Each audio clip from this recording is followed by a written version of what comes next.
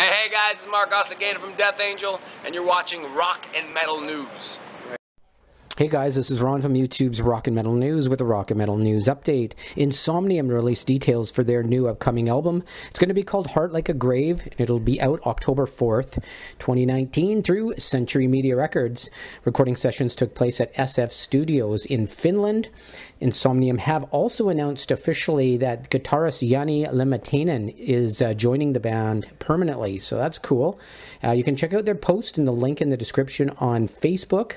The track list and and artwork are now out. Some of the songs are uh, Wail of the North, Valediction, Neverlast, Pale Morning Star, and Bells They Toll, among others. The full track list is in the description of the video.